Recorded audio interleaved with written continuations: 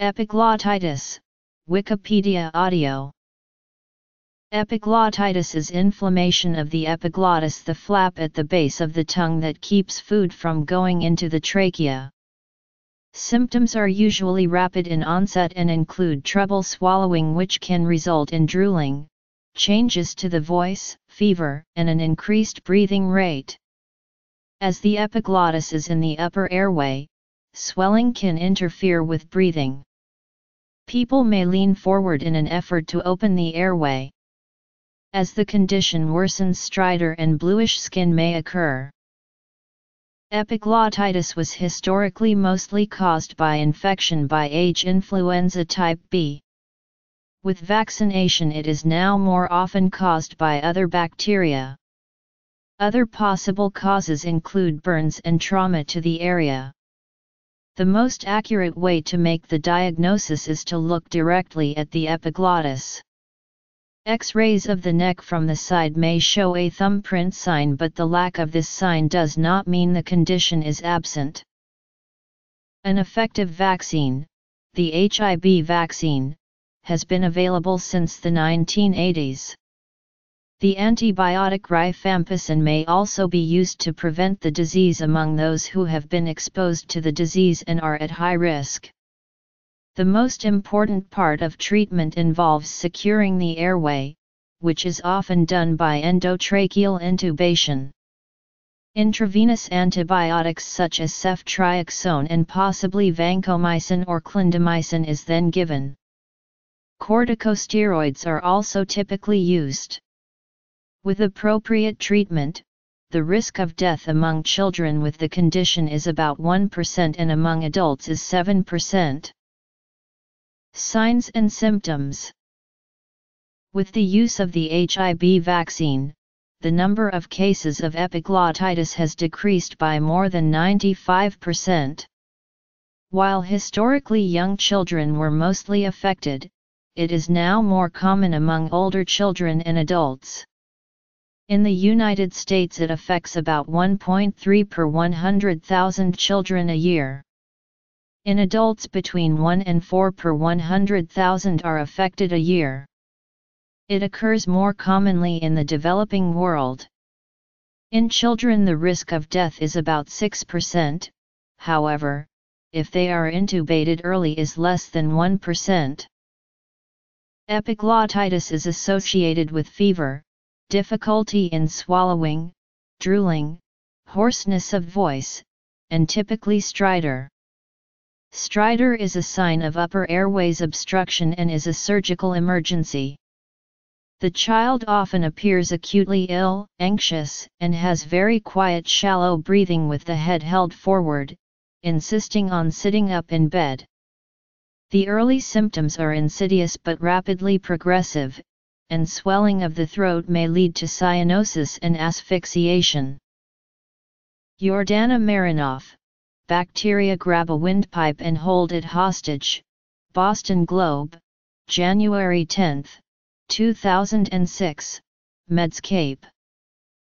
Since the introduction of the Haemophilus influenza vaccination in many Western countries, childhood incidence has decreased while adult incidence has remained the same.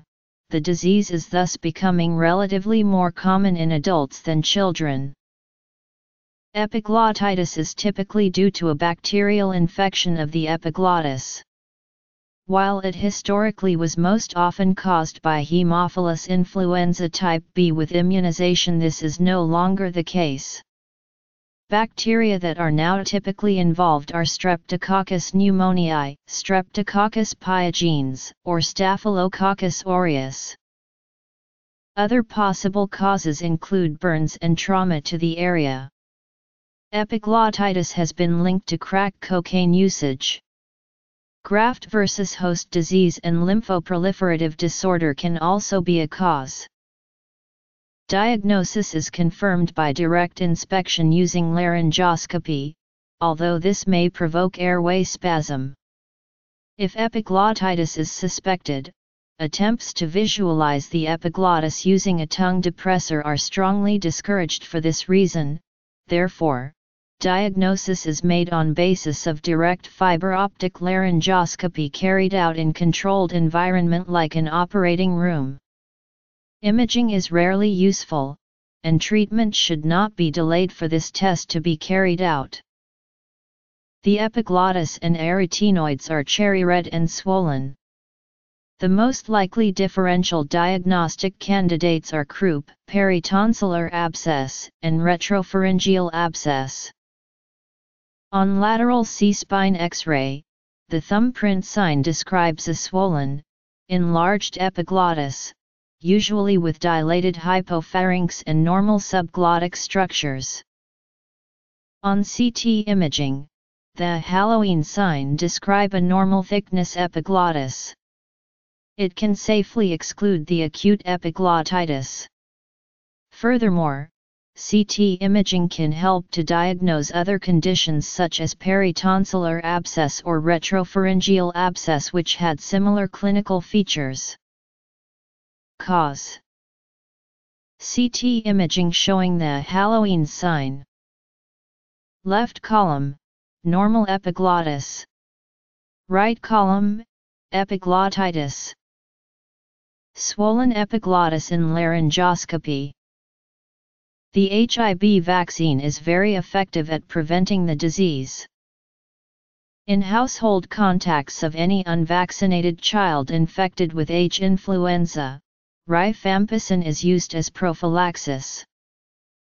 Epiglottitis may require urgent tracheal intubation to protect the airway, though this is not always the case. Tracheal intubation can be difficult due to distorted anatomy and profuse secretions. Spontaneous respiration is ideally maintained until tracheal intubation is successful. A surgical airway opening may be required if intubation is not possible. In addition, people should be given antibiotics, such as second or third generation cephalosporins, either alone or in combination with penicillin or ampicillin for streptococcal coverage. If allergy to penicillins is present, co-trimoxazole or clindamycin is an alternative.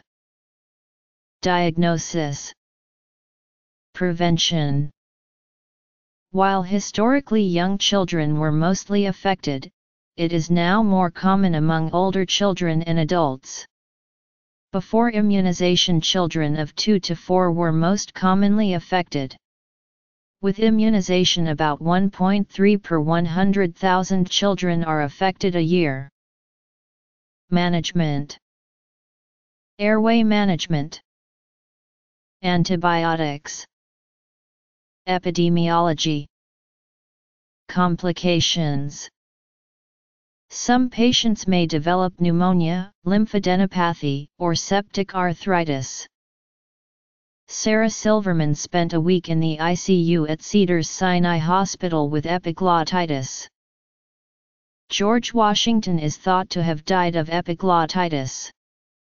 The treatments given to George Washington, such as severe bloodletting, an enema, vinegar, sage, molasses, butter, blistering his throat with Spanish fly, requiring him to swallow mercurous chloride and antimony potassium tartrate, and applying wheat poultices to various parts of the body, are no longer used.